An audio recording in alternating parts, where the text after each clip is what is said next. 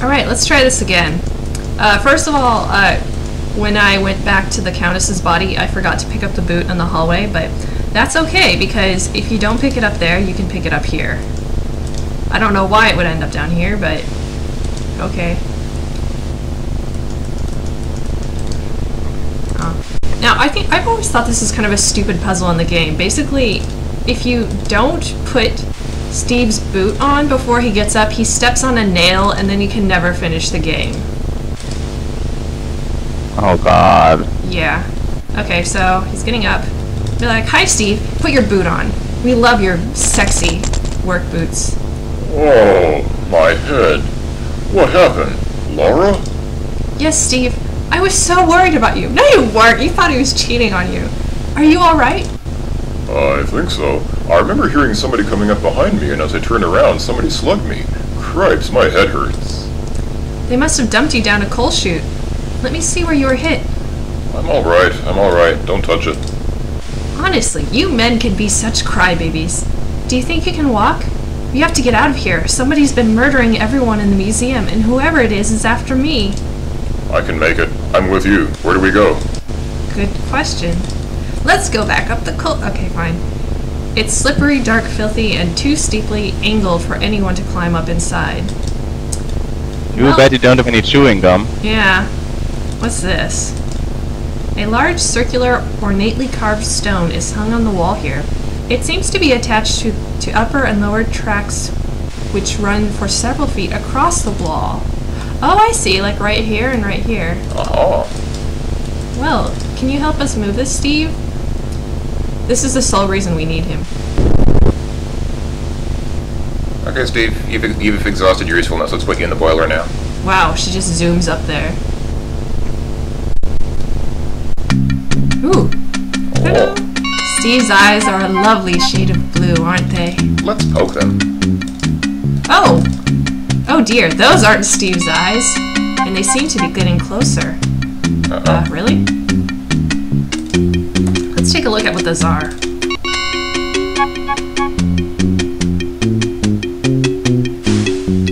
Oh great, more snakes. Uh, uh-oh. This is exactly why you still want some oil before, uh, before Act 5. By the way, there are some hieroglyphs very faintly on the wall. I forgot what they say. I think they're like some kind of Sierra promotional thing, but I'm not sure. One of you viewers could tell us, perhaps. Hurry up, Steve. Come on. Ooh. Uh-oh. You hear the sound of gunfire from the direction of the furnace room. Sounds like someone's chasing us, Laura. Duh! Oh, really? A ravening swarm of enormous wharf rats are scurrying toward you. And by the way, if you try to run past them, they will eat you. So, the obvious thing to do is to give them some cheese, but you don't want to give them the cheese here because if you do, they'll eat the cheese and then they'll pounce on you. So what you have to do is you have to throw the cheese somewhere behind them so that they'll run towards the cheese. Now we have two rooms here. One of them is a furnace room and the other one is a normal room. You can throw the cheese down either one of the rooms to test which one is safe for you to go in. If you throw it down the left one, the rats will be burned. Crap. But if you throw it down the right, ah, they almost ate us. Ah.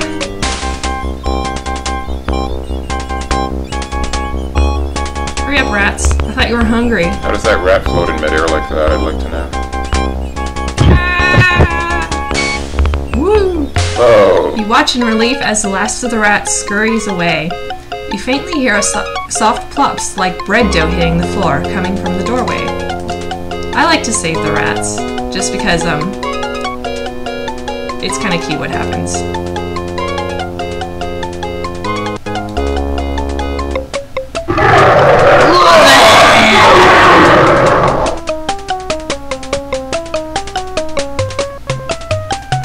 Alright. this is just getting sillier and sillier. I know, don't you just love it? Oh. Uh, wow.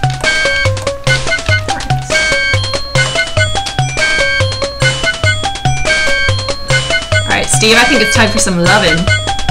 Don't touch me now, Laura. Find some way to stop the murderer before he kills us. I'll stay right here and stand guard. Oh, I get no response. I just vomited up a reporter and a stevedore! It's Steve, standing guard in front of the dinosaur, hoping you'll think of something clever. I know. All right. Oh, he's blocking me. Oh, I think I'll. Oh. I shot him in the head. You'll get nowhere with that holier than thou attitude. What? There's a hole. Oh, I get it. Shot. Oh, I get it, okay. So So if this guy had a gun the whole time, why was he chasing us with that? I don't know. Maybe he stole it from the the cult. How did he get past the cult? They said he wouldn't leave that room alive. Well, I guess he's very powerful. Wow. Anyway, this is the reason why the chapter is called Rex Takes a Bite Out of Crime.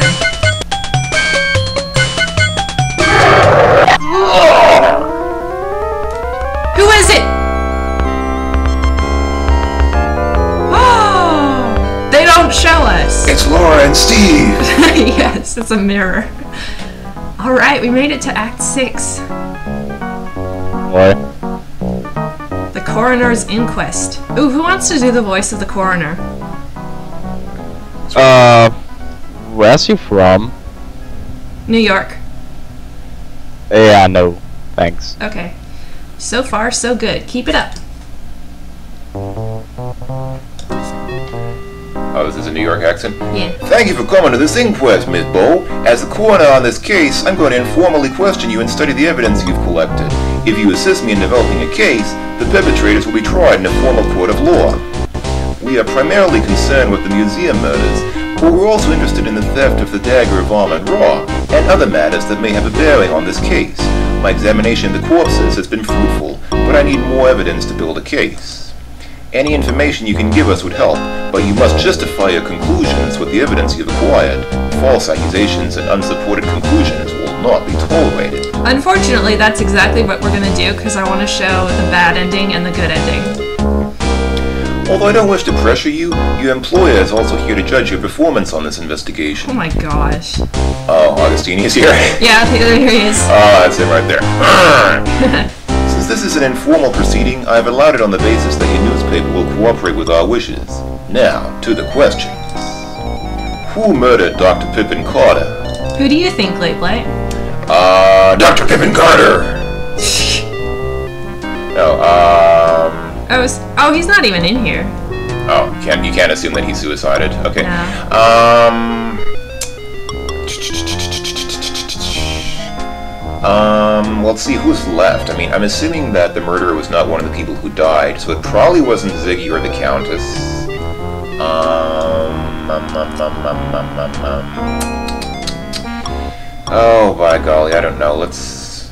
I don't know, maybe it was Ziggy. Maybe Ziggy killed him, and then that's why Ziggy died afterwards. It's, What was the motive?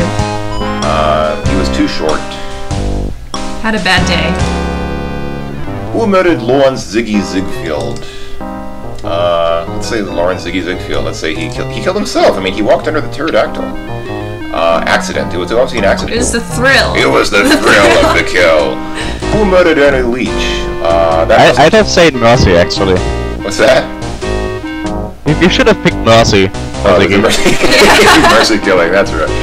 Uh, who, who killed Ernie Leach? Uh, it was probably the ants. They probably ate him.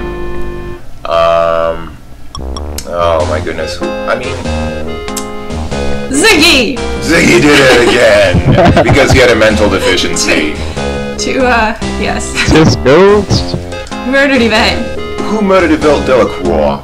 Um, that must have been Steve, obviously, because Steve's hair was caught in her hand, and he did it because, uh, out of fear, he, w- he was afraid that Laura would catch them. So he. Who murdered Countess Lavinia Waldorf Carlton? Um, that mu- well, that was the snake. Obviously, I mean, obviously it was the snake. Let's say Olympia. Was Olympia what did it me little. Even though Olympia found her on the desk. Well, obviously that. To protect a loved one, the snake. Yeah, exactly. She was protecting. Who Who was was the the skeleton skeleton found in the steamer trunk? This one I actually figured out. Uh, it is. Uh, That's because I told you. Oh well. Okay. Well, but I know it, that that's Carrington, right? Yes, That's but I'm just gonna put Steve Dorian. Okay, let's go ahead and say it, Steve. Who actually stole the dagger of Amon Ra from the ancient Egypt exhibit? Um, I almost want to say it was Heimlich. Okay. Yeah. I don't, I don't know why, but who was the woman involved in stealing paintings from Mexico? Okay, we know that. That was Yeah. the Countess. But we're gonna put Olympia. Based on your investigation, your conclusion is incorrect, Ms. Bow. Two of the men who were murdered were involved with one of the female victims and planned to steal the paintings. We have a report on that woman telling us she appeared at an appointment in the medieval armor exhibit sometime after the party. Yeah, she also told us. She was unaware that her partner in crime was dead at that point, and she was seen carrying paintings. If she'd been confronted at that time with evidence that her partner was dead, she might well have confessed to her crime. Who is the high priest of the Amon Ra sun worshippers? We're gonna answer that in the next video. Bye bye. Oh boy.